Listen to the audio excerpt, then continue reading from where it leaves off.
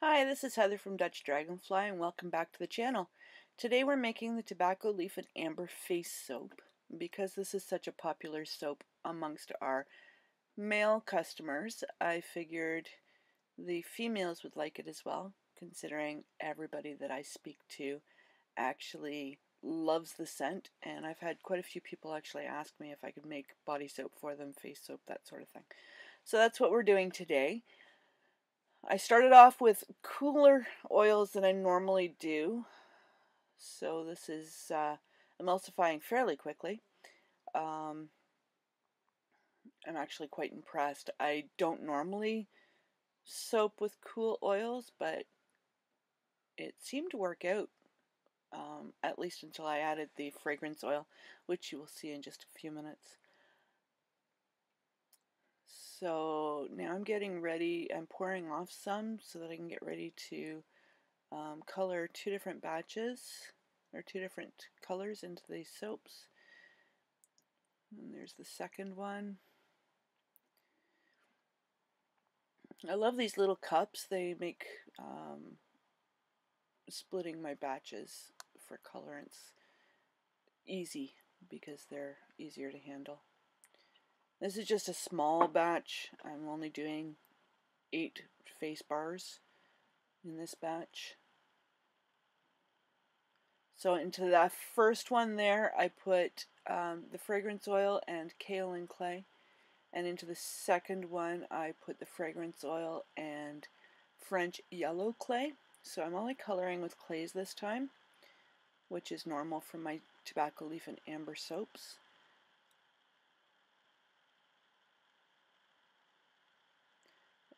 And you can see from that that the yellow actually turns into quite a nice golden yellow. And the kaolin clay tends to stay a little bit whiter, although both will discolor due to the uh, vanilla in the fragrance oil. And I'm just layering them into the larger bowl. It will enable a swirl effect in the individual bars because I'm not doing them up as a loaf this time. I'm actually going to be doing them up in um, individual bars. You'll see in just a minute. And this layering technique adds for a pretty swirl, making sure that each bar will have both colors. And I did fragrance them equally so I don't need to worry about that either.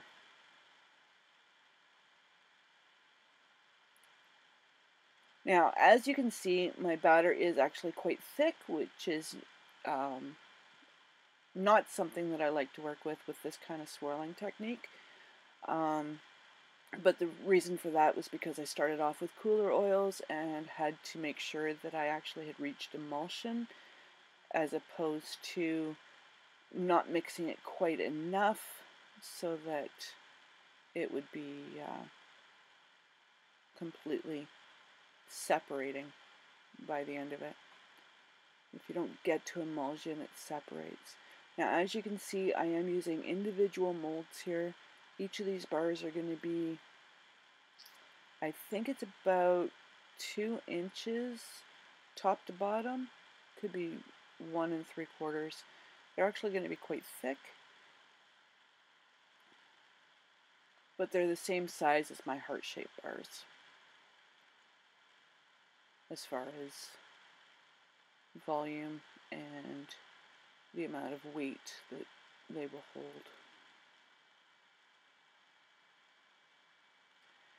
So this here, I'm tapping it down to uh, make sure that I'm not that I don't have any air bubbles.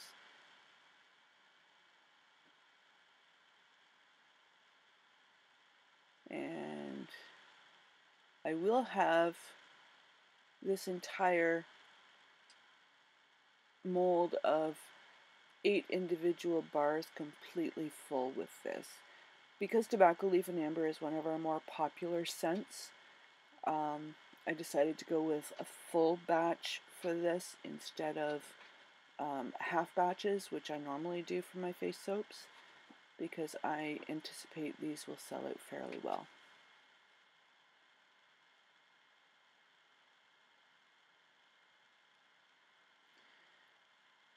One thing about using individual molds that I really am not fond of is the mess. I tend to be a clean soaper. I don't like mess on the side of the mold. And as you can see, this can get pretty messy, which doesn't excite me. But that's okay. They turn into really nice bars anyway. Tap, tap, tap. Down it goes.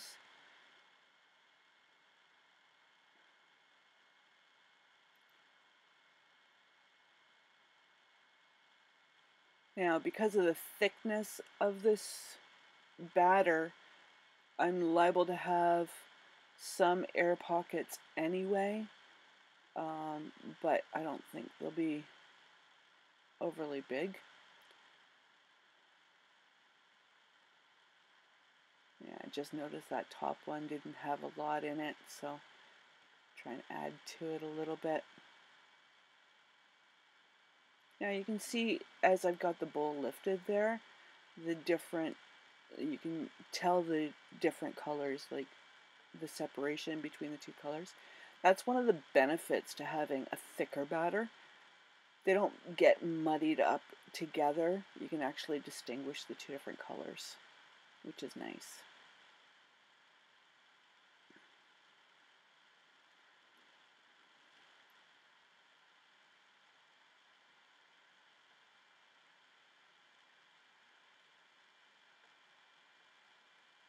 And this mold is just about done. Tap that down just a little bit more and we will be able to even them off.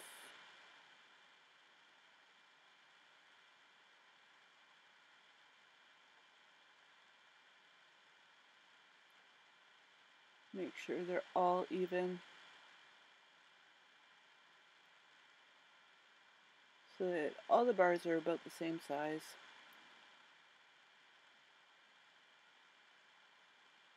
And I'm sorry that part of my mold is not in the camera view here.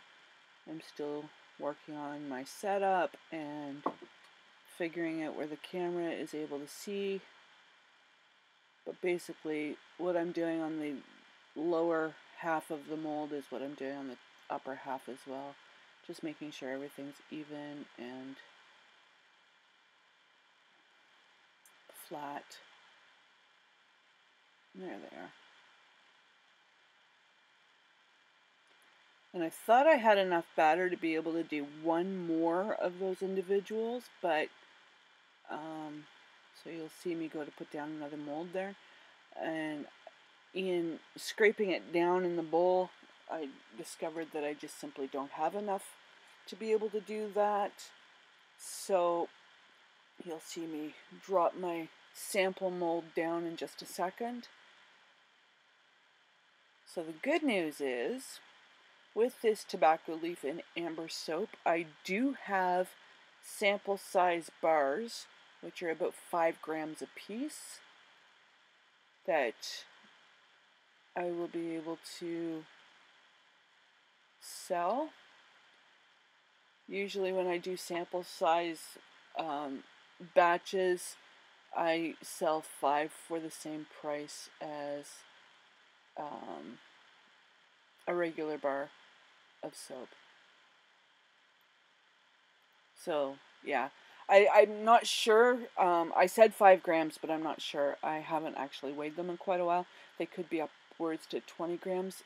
I'm not sure why I would sell five, five gram for the same price. So they may be 20 grams. I will um, recalculate that at some point. Now, there are three samples there. Again, I'm not I'm still getting used to my setup and where my camera can see, but there is a third sample there down on the bottom left hand side of the screen that you cannot see. Can't remember if I show you or not that I have three of them. I'm just taking what's left on the other mold, taking it all off, trying to clean it up a bit. I don't like the messiness on the mold.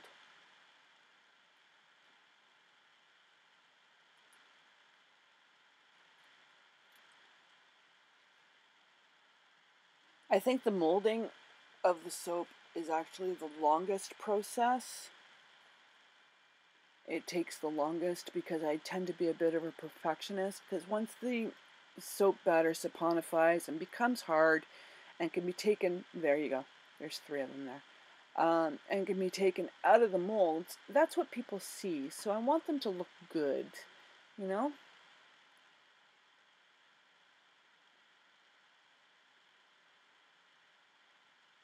And here we go to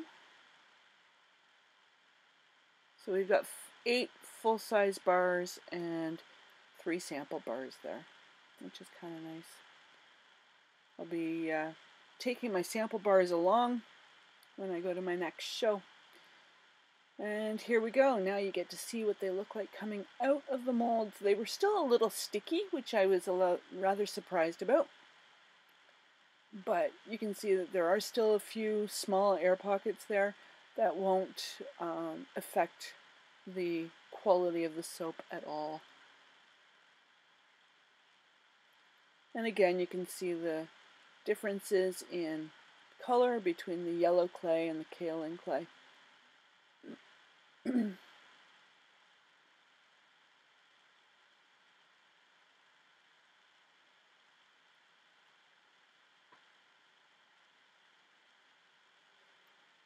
Believe me, once I got all this soap out, this mold went directly into the sink because that is one of my biggest pet peeves. Having soap batter on the outside of the mold that I can't use.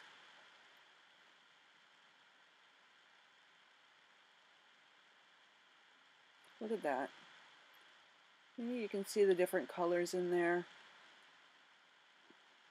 And it smelled absolutely amazing coming out of these mold, these individual molds.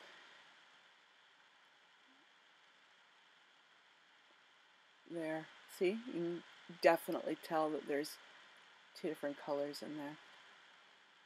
And those air pockets.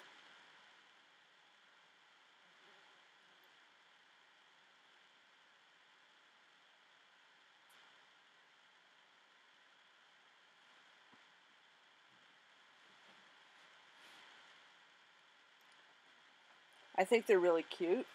It's the first time I've done a face soap in this fragrance. So it is my hope that they are as popular as the other soaps that I've done up in the same fragrance. I have no reason to think that they wouldn't be. And these are the sample size.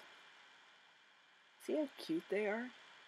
Mm, you know, it's enough to wash your face a few dozen times and or maybe a dozen times. I've never actually used one of these sample size soaps myself, so I can't tell you just how long that they last, but lather up a cloth and give your face a wash. And there you are.